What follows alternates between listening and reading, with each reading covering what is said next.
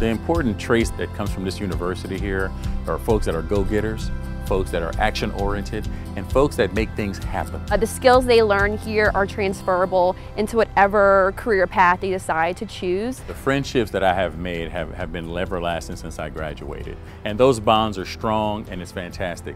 And what it all goes back to is that sense of community. So the Association of Future Alumni is a student organization that students can join once they're a sophomore or above. And they basically serve as the ambassadors of the Alumni Association. So they can speak on behalf of the Alumni Association, they can kind of help us with our programming, philanthropic work, as well as public relations activities. We actually have 23 Ragin' Cajun alumni chapters, and these are more interest-based and major-based.